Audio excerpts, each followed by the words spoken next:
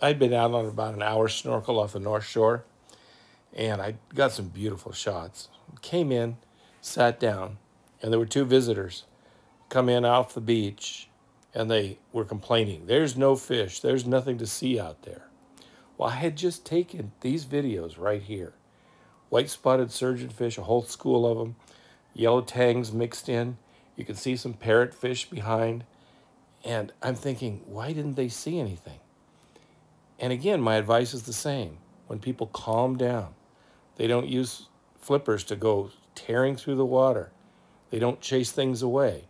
You go with the current. There's plenty to see out there.